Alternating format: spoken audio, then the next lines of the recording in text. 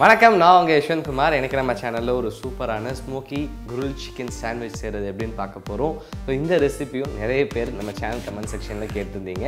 And இந்த recipe எனக்கும் ரொம்ப ஃபேவரட்டான ஒரு ரெசிபி இதுக்கு தேவையான இன்க்ரீடியன்ஸ் அண்ட் இது எப்படி செய்கிறது அப்படின்றத பார்ப்போம். குருல் சிக்கன் சாண்ட்விச் செய்கிறதுக்காக ஒரு பவுலில் ரெண்டு சிக்கன் பிரெஸ்ட்டை கட் பண்ணி வச்சுருக்கேன். இதில் ஒரு டீஸ்பூன் அளவு கரம் மசாலா ரெண்டு டீஸ்பூன் அளவு மல்லித்தூள் மூணு டீஸ்பூன் அளவு காஷ்மீரி மிளகாய் தூள் நாலு டேபிள் ஸ்பூன் அளவு தயிர் சேர்த்துக்கிறேன்.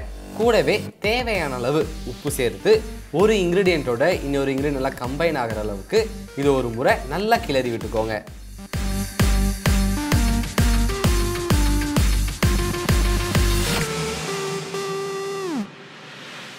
இந்த அளவுக்கு நல்லா கிளர்னதன் பிறகு இதுக்கு நல்ல ஸ்மோக்கி ஃப்ளேவர் கொடுக்கறதுக்காக இது நடுவில் ஒரு சின்ன கட்டோரி ப்ளேஸ் பண்ணிக்கிறேன். கூடவே நல்லா செக்க செவல் ஹீட் பண்ணி வச்சுருக்கேன் மரக்கறி இது நடுவில் வச்சுக்கலாம். இந்த கறியிலிருந்து ஸ்மோக் ப்ரொடியூஸ் ஆகிறதுக்காக கொஞ்சமாக என்ன செய்கிறது இந்த மாதிரி புகை வரும்போது உடனடியாக ஒரு தட்டு போட்டு க்ளோஸ் பண்ணிடலாம். இதை அரை மணி நேரம் அப்படியே விட்டுருங்க. அப்போது ஸ்மோக்கும் இந்த சிக்கன் நல்லா இன்ஃப்யூஸ் ஆகிருக்கும் அது மட்டும் இல்லாமல் சிக்கனும் நல்லா மேரினேட் ஆகிருக்கும் அரை மணி நேரம் கழித்து இந்த சிக்கனை நம்ம க்ரில் பண்ணிக்கலாம். அதுக்காக ஒரு க்ரில் பேனில் ரெண்டு டீஸ்பூன் அளவு எண்ணெய் சேர்த்துக்கிறேன். எண்ணெய் நல்லா சூடு ஆனதன் பிறகு ஒவ்வொரு ஃபில்லேவாக எடுத்து இந்த கிரில் பேனில் சேர்த்துக்கலாம். இந்த சிக்கனை நம்ம டோட்டலாக சிக்ஸ் மினிட்ஸ் குக் பண்ண போகிறோம் முதல் மூன்று நிமிடம் ஒரு பக்கம் நல்லா குக் ஆகட்டும். அதன் பிறகு இதை நம்ம அடுத்த பக்கம் திருப்பி விடுவோம். அதே மாதிரி இந்த சிக்கனை குக் பண்ணும்போது மீடியம் ஃப்ளேம்லேயே வச்சு குக் பண்ணுங்கள் ஏன்னா ஹை ஃப்ளேமில் வச்சு குக் பண்ணும்போது இந்த சிக்கன் டெண்டராகவும் ஜூஸியாகவும் இல்லாமல் ரொம்ப ரப்பர் மாதிரி ஆகிடும்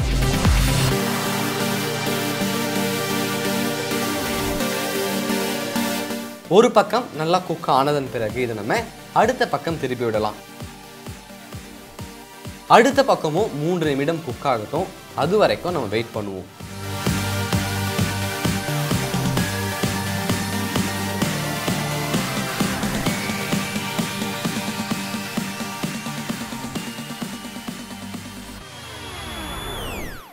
ரெண்டு பக்கமும் சூப்பராக அந்த சிக்கன் குக் ஆகிடுச்சு ரொம்பவே ஜூஸியான டெண்டரான நல்லா ஃப்ளேவர்ஃபுல்லாக இருக்கக்கூடிய குருள் சிக்கன் ரெடி ஆகிடுச்சு இதை எடுத்து சைடில் வச்சிடலாம். இதோடைய சூடு முழுமையாக குறைந்ததன் பிறகு இந்த சிக்கனை ஒரு சாப்பிங் போர்டில் மாற்றிக்கோங்க மாற்றினதன் பிறகு ஒரு ஷார்ப் நைஃப் யூஸ் பண்ணி இதை நான் அழகாக குட்டி குட்டி பீசஸாக கட் பண்ணிக்கிறேன்.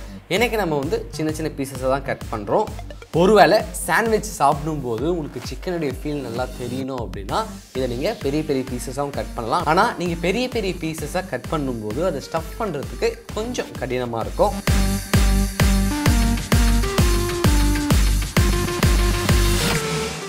எல்லா சிக்கனையும் அழகாக குட்டி குட்டி பீசஸாக கட் பண்ணி வச்சுருக்கேன். இதை எடுத்து சைடில் வச்சிடலாம். வேறு ஒரு பவுலில் நூறு கிராம் அளவு மைனஸில் நம்ம கட் பண்ணி வச்சுருக்க சிக்கனை சேர்த்துக்கலாம். இப்போ இந்த மயனைஸும் நம்ம கிரில் சிக்கனும் நல்லா கம்பைன் ஆகிற அளவுக்கு ஒரு முறை இதை நல்லா மிக்ஸ் பண்ணிக்கோங்க.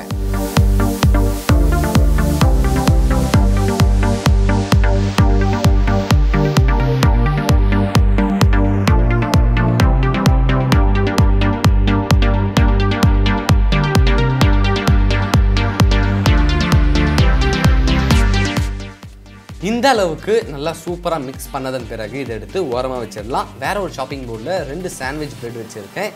இதில் நம்ம ரெடி பண்ணி வச்சுருக்க கிரில் சிக்கன் ஸ்டஃபிங்கை ப்ளேஸ் பண்ணிப்போம். இதே மாதிரி இன்னொரு சாண்ட்விச் பிரெட்லையும் சேர்த்துக்கலாம். ப்ரெட்டில் இந்த ஸ்டஃபிங்கை ஆட் பண்ணதன் பிறகு ஸ்பூனுடைய பேக் சைடு யூஸ் பண்ணி இதை அழகாக ஒரு முறை ஈவனாக ஸ்ப்ரெட் பண்ணிக்கோங்க.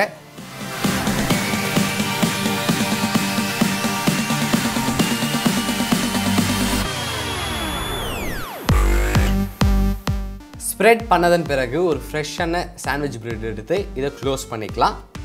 இப்போ நம்ம சாண்ட்விச் க்ரில் பண்ணுறதுக்கு ரெடி ஆகிடுச்சு அதுக்கு முன்னாடி ஒரு பக்கம் கொஞ்சமாக பட்டர் எடுத்து அப்ளை பண்ணிக்கலாம்.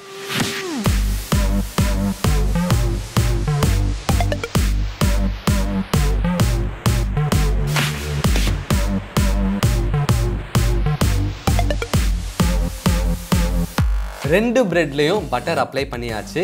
இப்போ இந்த சாண்ட்விச் எடுத்து நம்ம க்ரில் பேனில் சேர்த்துக்கலாம்.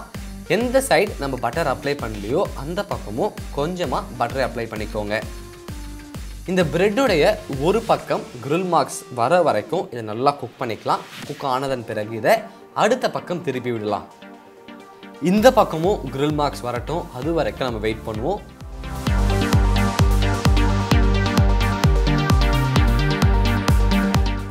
ரெண்டு பக்கமும் கிரில் மார்க்ஸ் வந்துருச்சு. வெளியில் நல்லா மொறு மொறுன்னு அதே நேரத்தில் உள்ளே நல்லா ஜூஸியாக ஃப்ளேவர்ஃபுல்லாக இருக்கக்கூடிய சிக்கன் சாண்ட்விச் ரெடி ஆகிடுச்சு வேறு ஒரு சாப்பிங் போர்டில் மாற்றிக்கலாம்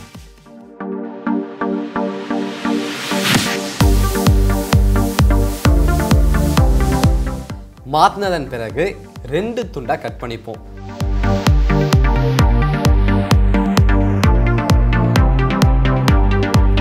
ரொம்பவே ஈஸியான டேஸ்டியான கிரில் சாண்ட்விச் ரெடி ஆகிடுச்சு இதை அழகாக அரேஞ்ச் பண்ணிக்கலாம்.